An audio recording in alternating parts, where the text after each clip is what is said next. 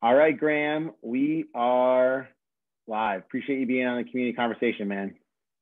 Thank you so much for having me, Mike. It's a great pleasure to be with you. Yes, sir. So, Graham, if you've listened to any of the community conversations, I'd like to start things off with just giving a little background on yourself and uh, how you found Prototype, how you got involved in the gym, uh, how you found CrossFit, all that sort of stuff. So, I, I know the folks listening would love to hear. Cool. So, uh, I guess it starts off with uh, high school. I, I, thought I was kind of an athlete, but I went to a pretty small school. So everyone had to be an athlete. You had to play on some kind of sport. I think there were 44 kids in my class. So, you know, they needed enough bodies just to fill out a team. So I was always uh, picked for something. Uh, I played hockey, uh, lacrosse, and football, um, but always weighed about 155 pounds. And those of you that know me, I wish I could be 155 pounds now. Could never put on any weight uh, never did anything, and then uh, got into corporate America where I was sort of involved in opening up stores for uh, you know various retail chains, some of which are no longer with us. The last one was Target, which will be with us for a while, and unfortunately, that involved a lot of uh, travel. Which the kids, if you talk to them, I thought they loved it, moving every three years, but they hated it. They never got to be in a community long enough. Uh, but for me, it involved a lot of time on the road, a lot of meals, lack of exercise, things like that. So I ballooned up to like 250 pounds. So I was I was big, um, not very healthy, and I started running, which is kind of like you know we talk about often at the gym and things like that. I used to run one mile and uh, die, uh, you know, and then it got up to two, and then maybe three, and then over the years it got more and more. So I was basically a runner, and then my daughters, Caitlin and uh, Brooke, who you guys know, joined the gym before me, kept telling me you need to do something more, you need to do something more, and I was like, no, no, no, I'm you know losing weight, I'm feeling pretty good, I'm doing fine, but I had you know no upper body strength uh, at all. So they signed me up for the um, whatever it was, the three month package that you guys offer for Christmas, and I was dreading it because I did not want to do it. And I'm great with Christmas gifts and things like that. They'll tell you anyone they give me, I'm always like, I don't like this. I don't think I want it. So that was the one I really hated because I was training for Boston that year. And it was the first year I was going to run Boston. And all I could tell them, I was like, I'm going to get hurt. You know, this doesn't make any sense. Why are you guys doing this to me? So I got in, and uh, Ben was the trainer at the time. Um, you know, took me through um, the beginning classes and then uh, you know the great thing about you guys is i mean everyone knew that you know i wasn't in great shape you know upper body wise or lifting or any of that stuff. So i think i lifted the bar for the first you know two months uh, which was great. Uh, you know they watched me every time. I can remember brian you know sneaking up behind me going that's enough. You're good with that last weight. Uh, but it's something that you guys always take care of and watch me uh, and then try to tailor the workouts too for what I was doing for uh, running and things like that. So uh, I feel like I've gotten in much better shape than just uh, being a runner. Uh, and believe it or not, I hate running. Um, you know, everyone thinks I love it. and probably just like everyone too, I, I think I hate every workout right when I'm in the middle of it. And then when you're done, you're like, that was awesome. It felt really good. So uh, yeah, so my you know the the one thing is I think you bring it up often too is a lot of people leave gyms. You know they get started, they get into a little bit, you do it for a couple weeks, and then you're done. Um, the community has been so good, uh, you know, and I know it's overused. We talk about you know prototype community and what a great group it is and things like that. But literally every single person is supportive of you. I know I'm the uh, cute old man in the group now, so it's kind of fun. You know, people see that I do, you know, the scaled stuff and things like that. But uh, you know, every single person has has pushed me and tried to make sure I do the best I can. Um, those of you that know the 7 a.m. class, and I think everyone in the 7 a.m. class has picked up on this. But Russ Schwartz always likes to uh, sort of pick on me and go like, "Come on, Graham, you can do it." So I think everyone's done that now, from John to everyone in the class. Like, come on, Graham, you can do more than that. come on, because uh, as John will tell you, I tend to be a little lazy. If I can do it uh, the easy way, I'll do it the easy way. And then when he corrects me, I'll go, "But that's hard." He's like, "Yeah, that's what it's supposed to be, Graham." So it's it's been a great journey. I mean, I, I feel much better about myself. Uh, you know, um, and the nutrition's another really, really big part of that. Um, you know, I've taken nutrition with John and recently with Sam. And, you know, I think it's like anything with coaching. You know, I've taken coaching in my real estate career and things like that. I think we all know the things we're supposed to do. Uh, and we know, you know, if we did those things incorporate into our lifestyle, we'd be, you know, more successful, more fit, whatever it is. But when you have a coach that kind of asks, you know, how'd you do last week, Grant? You know, what we talked about, where you at with this, where you at with that? Um, it, it really, really helps. Uh, and then I'll give one plug. I meant to get, tell Sam about this and, and John too. I just signed up for something recently, which I think is really, really great, is a uh, community share at Southborough at the Chestnut Hill Farm. And they give you like a stack of vegetables, which you've never eaten before, half of them. And then you get to try to eat them and incorporate them in your diet. You've got one week to eat all this stuff. And it's all vegetables, which normally I would just like, ooh, I don't want those. I want like a nice steak. Uh, so it's it's been really really good, and it's uh, exciting to see what they have each time. That's awesome. I love those community shares. You get veggies. They do that for like meat and stuff too, yeah. with like different places and that sort of thing. Now that's awesome, Graham. And I uh, I love you that you were talking a little about training for Boston, and then transitioned and started doing some CrossFit training. Did you feel that that helped with your training with Boston? And then why don't you talk a little bit about that experience? Because I know over the last couple years, well, 2020 now 2021, Boston has shifted to more of a virtual. I know in 2020 it was more of a virtual event. They had to move it, uh, unfortunately. But what was that experience like for you? Well, I, I think the biggest thing was, um, you know, it really wore on my body when I first did it the first few times. And I don't think you realize that, you know, it's like, yeah, you think it's all legs when you're running a marathon or something like that, but it's not. It's uh, you know, you notice, gee, my back hurts. You know, why is my, you know, why are my arms tired? Things like that. It's a lot of core strength, you know, to keep you up. And then it's leg strength too. You know, the stronger I made my legs and the more we did different things like that, uh, it really helped with my endurance and things uh, of that nature. Um, the other thing too is it just, uh, you know, it makes you a little bit quicker but uh, also it was a little less painful too for the marathons and things like that. So you know the the big big one too is uh, really lack of injuries. Uh, I've had some you know nagging injuries when I've done them, pull groins, things like that. But with CrossFit and then you know and and that's the other thing too, like we talked about, the coaches are really mindful of that too. Um, they look and they say, you know, Graham, what are you doing for running? What do you got for a long run the next day? they kind of know that if Friday I'm there for a workout and I've got a long run Saturday, that it's going to be, you know, not as much pressure on me to really do all the everything there, but just really get a good stretch and things like that.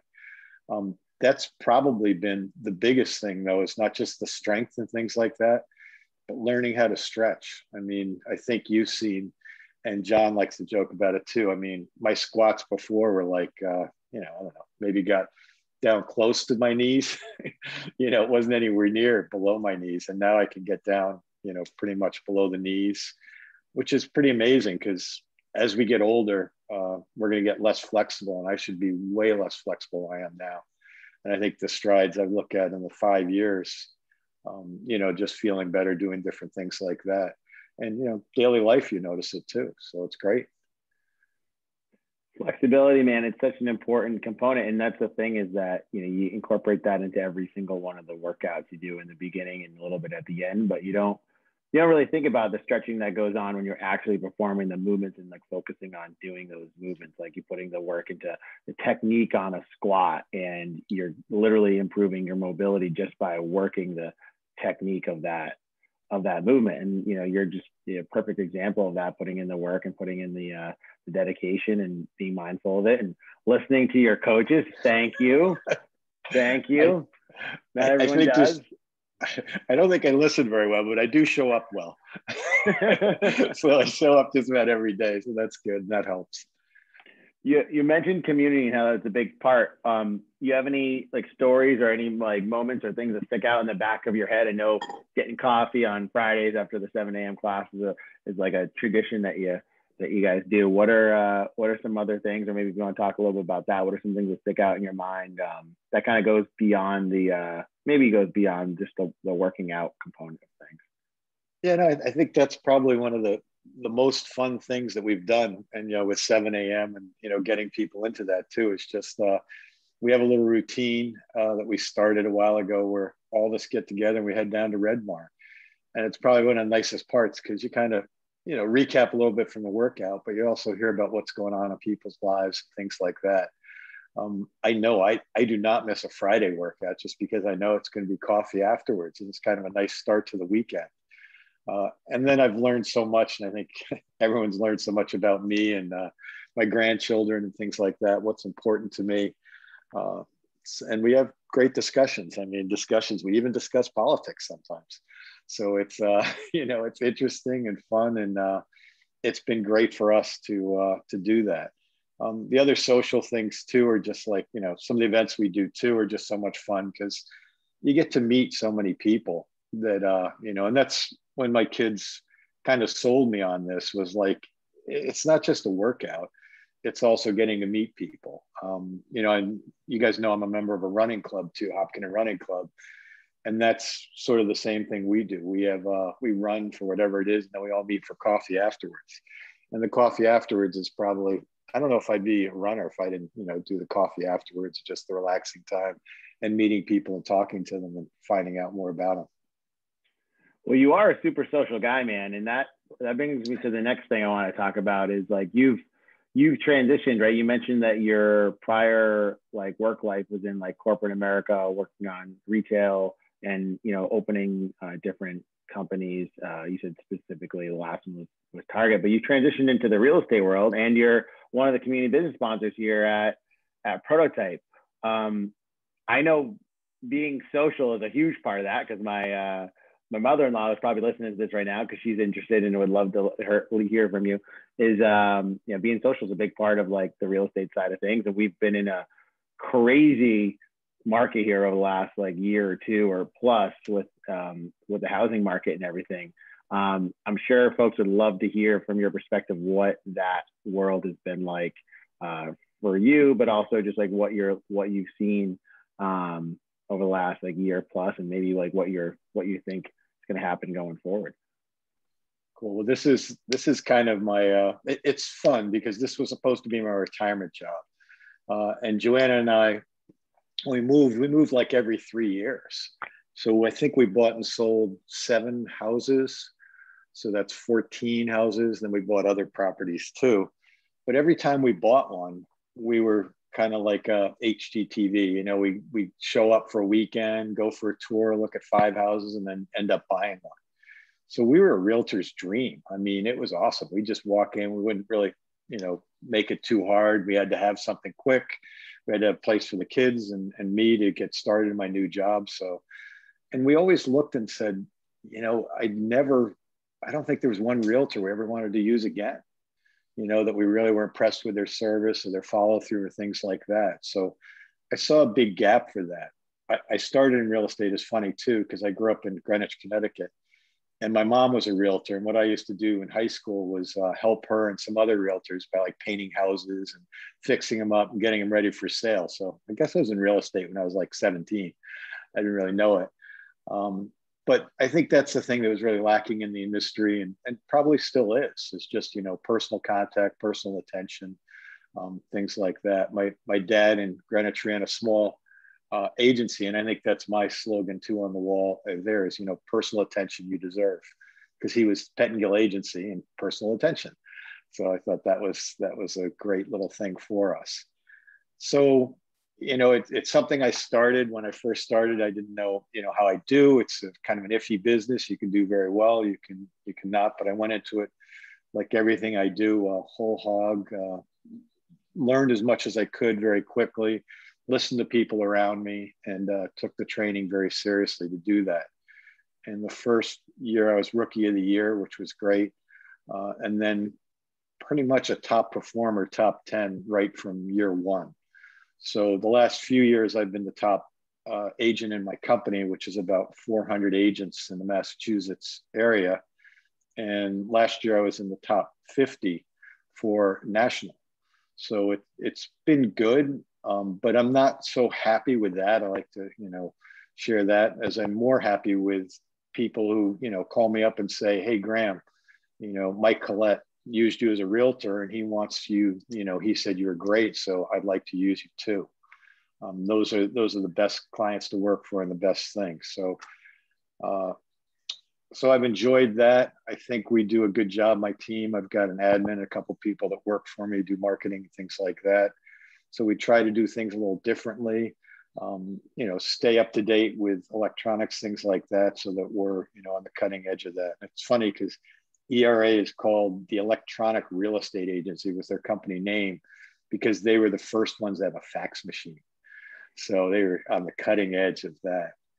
So when you look at you know what the market's been like and it's really funny because can i got into this like 12 years ago i think and within a couple years everyone was talking about lack of inventory lack of inventory so we've been saying that for you know the past 10 years probably so people probably think i'm making it up when they ask you know why is real estate so tough right now it's because of lack of inventory but this year really we saw you know probably the worst year ever for lack of inventory last year was unusual because there was some inventory. I don't think buyers were really as interested in buying as they were now. Um, so a couple things we're seeing, which is real interesting in the market right now, and we saw this last year, was it's people who lived in the cities and were thinking about a move. Like, and I'll use you and Aaron as an example. If you guys were living in Boston, you'd probably be loving it right now.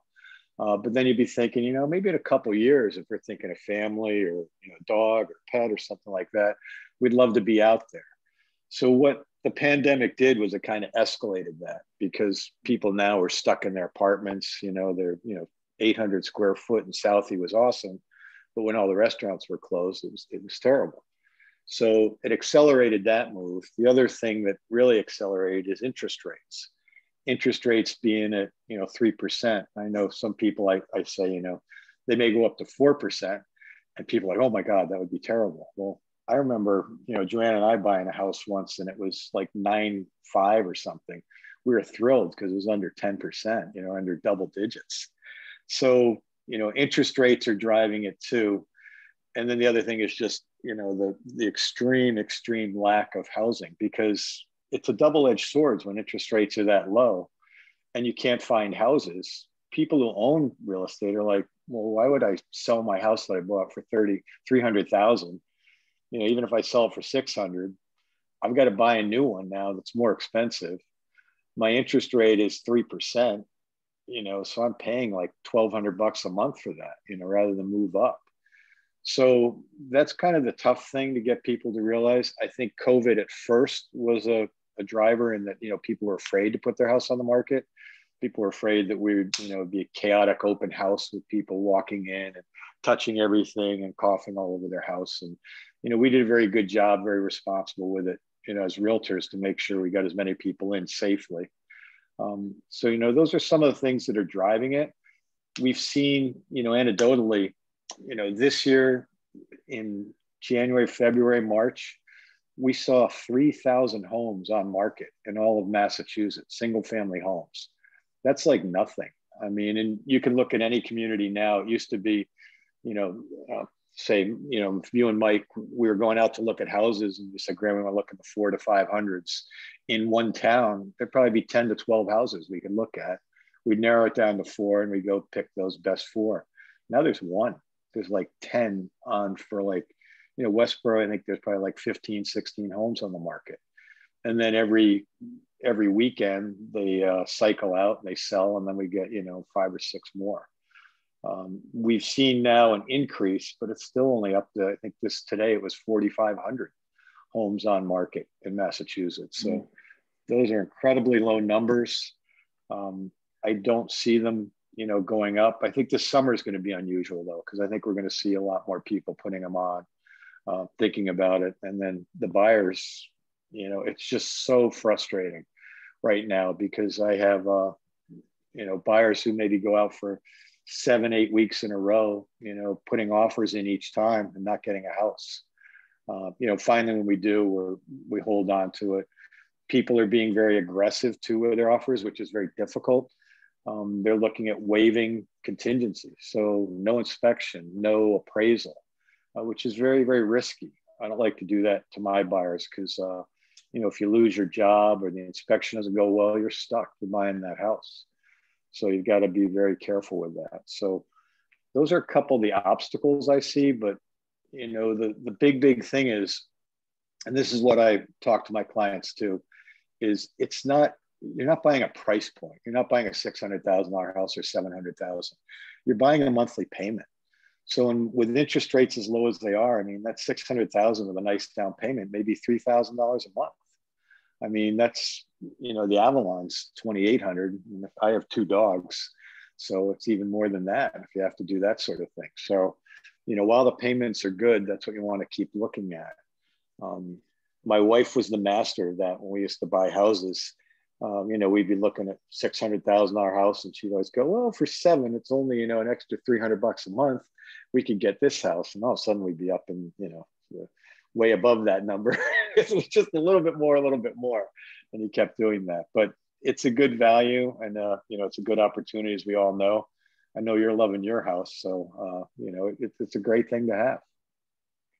We got super lucky because it was right at the beginning of the pandemic. It was like march april and it was like right before everything started to go up in price because like you talked about there's a few factors but it you know i think what you're saying it boils down to the supply and demand right? And then it must be challenging too for a lot of buyers now like based on what you're saying you know a lot of full cash offers no contingencies but also the prices of the houses are a lot higher because of that supply and demand. So when you have like clients that you know might be working within a particular price range it's from what i'm hearing you're saying is like they're almost getting it's like it's too competitive for them to even be able to purchase a house that they might have been able to get a year or two years ago yeah and the, and the key thing is that you have to remind people around remind myself too even because we're thinking of getting like a place on the cape or something is even though the price appears high now if interest rates do creep up next year even like a full point that's probably going to add, you know, $800,000 to your monthly payment. So, you know, the price of uh, the home is still relatively cheap, even though it's gone up 100,000 or 200,000, whatever they have. I mean, we've seen them fairly consistently going up 5% just about every year the last few years. And we know that's not sustainable, but you know, Boston has been great. I mean, even in 08, when the market crashed, um, some of the communities around here, the Westboroughs, Hopkins, things like that, barely dipped.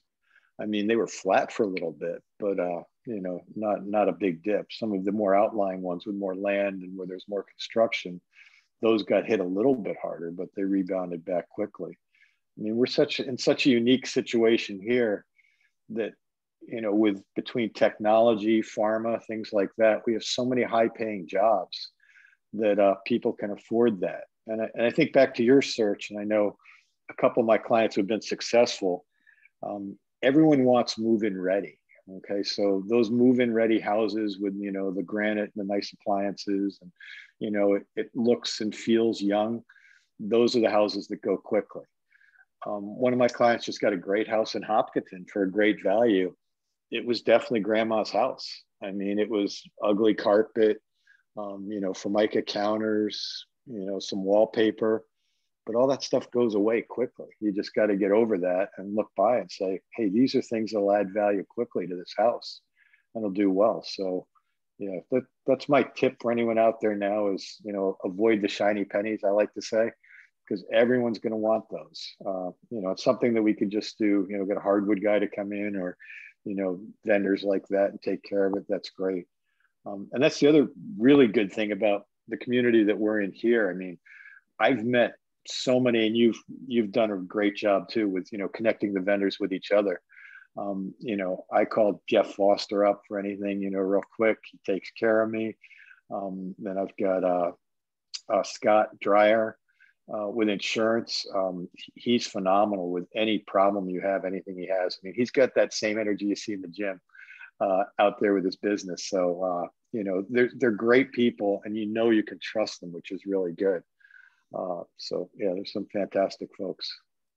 Scotty's a good guy to golf with, just like you are, which is, uh, I know, is probably one of your, your favorite hobbies. I'm sure you're getting out on the, uh, on the on the course today. When did you start playing golf? By the way, when did you, that become uh, something you were talking about? You love man. You you uh, why don't you tell people because I don't want to I don't want to spoil it, but you're out there like every day ripping around the course and trying to set the course record, land speed record. Yeah, I just set the speed record. That's setting on other records. Uh, yeah, so golf, golf is funny though because my parents were members of a great club in Greenwich, and I had the opportunity to take lessons and do all that stuff, and I absolutely hated it. Because as a kid, if you're not good at something, it's horrible, you know. So I think I took a lesson at 13, went and played with someone once, and I had like a 13 and a 14 on two holes, and I was like, I'm out of here. I don't, I don't want to do this anymore. Uh, so I gave up on it. And then the funny story is, then when we were like 18, we used to sneak on a lot of courses. So we'd we'd run around, play, you know, the back nine of a bunch of really nice courses down in Connecticut. It's funny because some of my friends are members of those courses now, and they say, "Yeah, I had to join because I had to see what the front nine looked like." I never saw that. So I I never played. You know, I played a little bit. You know, kept doing that, and then uh, yeah, it's just been been really nice now to have the opportunity to play some cool courses and things like that. And some friends who have some good ones too. So yeah, golf is fun, but golf to me is, is it's like CrossFit. I mean, CrossFit, I wake up in the morning and you don't always feel great. You know, in fact, many mornings I'm like, I don't think I can go do it. I'm a little stiff too much. But once you get into the gym, it's like everything goes away. You get into the stretch, you do this, everything's awesome on the golf course is the same way because you know all of us have stressful jobs and things like that things going on and you get out there you know it's just all of a sudden you're outside it's beautiful you know i don't play well but it doesn't matter you know it's still a pretty place and uh, you know lots of grass and uh, it's awesome. It only takes one good shot to bring you back. Yeah maybe one. The hard part's putting those good shots together. I've learned That's i've learned that for sure. That's the hard part. But um, so all right, so golf has to be your one of your favorite hobbies because that's that's our, we're getting into our spitfire round of questions here, Graham. Um, is that is that confirmed, or what are what are your other hobbies outside of um, you know working out, uh, maybe time you spend with your family? I know you're uh, you know you're a grandfather now, so uh, what are your your favorite hobbies and things to do? Yeah, I think you know golf is obviously awesome, but uh, I love spending time with uh, Cooper. Cooper's two years old, and my uh, little granddaughter Blakey, who's seven months old. Uh, but Cooper's amazing because uh, my kids like to laugh because I definitely probably have ADD or something like that, where I'm kind of all over the place all the time. And a two-year-old is the same way, so it's awesome. I mean, we can go look at you know a bird, and then go see a cricket, and then we'll go look at an ant, and we go run around. We went to uh, we took him. I took him swimming the other day, and we got to go while we waited for the pool to open up. We got to go sit on a golf cart, and then we got to go look for turkeys, and then we got to go watch where they store the golf carts, which was the coolest thing in the world for him. And then we got to watch them clean the golf carts. So it was, you know, for me, that's perfect. We did 10 different things in five minutes. And, uh, you know, Brooke and Caitlin will tell you, that's kind of the way I, I schedule my day too, which is they don't understand how I can do it. But it's like, you know, like today I've got, you know, I had a call at like the gym first and then a call at 8:30, then this one at 10, then another call, and then I'm gonna try to play golf later. So, you know, and I squeeze everything in. So I've got like 15 minutes between each one because that's a waste of time otherwise if I got nothing to do in the middle of those. I can, I can relate to you on that stuff for sure. Um, next question, Graham, in the Spitfire round is what's your favorite movie and TV show of all time? And also to add to that, what are you currently binge watching if you're binge watching anything right now? All right. So the movies are, are hard to get because everybody's got a bunch of movies they love. My wife laughs at me all the time too. Because she's like, You've seen that movie seven times. I mean, like a Denzel Washington movie, I could watch again and again. I mean, Man on Fire, things like that. But Apocalypse Now is probably one of my favorite movies, uh, just because it's got uh, uh, Charlie Sheen in it and what's it, Robert Duvall, and just some of the lines in it are just phenomenal. You know, the smell of napalm in the morning, and then it has The Doors for a soundtrack and Rolling Stones. I mean, you can't beat it. So that one's pretty cool. It's a little hard to watch though because it's 79 is when it came out. So it's a little older cinematography. Uh, I'm going to go old again too on famous our favorite TV show. We used to love to watch 24. Uh, we thought mm that was just the coolest thing because every every day, and we learned some important life lessons from that. You know, I always told my daughter that, yeah, I would sacrifice her for the terrorists because I know we're going to die anyway. So it's like when they say that when they say they're going to kill your your daughter, it's like you know they're going to kill them, so you might as well jump now. And, you know, take care of it, take action quickly, because they always lie. It's reassuring. Uh, yeah, and then stuff we've binged. We don't really watch binge watch a lot, but we did get, and it's funny too because at the gym and at coffee we talk about you know what are you watching, what are you doing on TV, things like that. And Schitt's Creek came up, and that's just a really funny, funny uh, show. And then we just started the crown which is kind of uh, interesting but we got to get into that one a little bit more. Cool. I like how you reference the doors and the rolling stones because that brings me to my next question which i think i know the answer. Yeah you do. What is your uh, favorite band or musician of all time yeah favorite favorite band is definitely the grateful dead uh, i have that playing all the time it's my uh, you know thing. There's, there's a lot of artists though I like too, which are which are cool. So we'll get back to that. But the Dead are fun just because I used to follow them as a kid, uh, and I di- I didn't follow like I mean like you know seven states in like nine days. I think the most we did was like uh, Vermont to Portland, Maine. I think that was about it. Uh, and then a couple others. I mean, and then we went to Portland, Maine. You know, one of my buddies was like, "Oh, they're playing in Wisconsin in two days. We should go there next." I'm like, "You out of your mind?" driving seven hours to go do that. But we saw some great shows. Uh, a good friend of mine is friends with uh, a lot of the guys on, who play in the Dead too. So we got to actually meet uh, some of the guys backstage too, things like that. So that's awesome to know that. But yeah, they've been fun, and I think now it's pretty incredible to watch them because with John Mayer, it's like an entirely mm-hmm. different feel to the music. It's still the same music, but it's got a really good bluesy feel to it. It's uh, you know, and it's bringing in a lot of young people to hopefully keep the band going. So see what the next iteration of the Grateful Dead will be, but I think it'll be awesome. And that's my my deal too. Can't wait to uh, either run a marathon with Cooper and maybe take him to a Dead show. So it's a ways off. We'll see if we make it there. that's awesome. Two two things on that is one is I know you're gonna love so you loving the endurance sort of stuff, and then also music. Our Row for Crows event is happening again this year, September 18th. Uh, Chadwick Stokes and the Pintos are playing. We'll have three additional bands, food trucks, uh, beer, all that fun stuff. It'll be a fitness and fitness and uh, and music festival come together. So you got you better make sure you make a team. Team of four, rowing uh, 21,000 meters. 21 and 21 is the is the theme. So it's like a half marathon row and a team of four. So it's uh it's going to be a lot of fun, and I'm sure that you'll if you can make it, I think you'd uh you know get that team of four together. Maybe Caitlin and John and Brooke can be on a team with you or something. I think they would dig it. It'll be a fun time. It'll be family and family and uh, kids and family friendly as well. Yeah, wouldn't miss it. It's fun to sponsor that event. That's a really nice charity too. They have put together for it. Yeah, it's awesome. Calling all crows is awesome. And then the the second thing I wanted to ask you is, what's your favorite Dead song? Oh, Can you oh, nail one down? Huh. I don't know.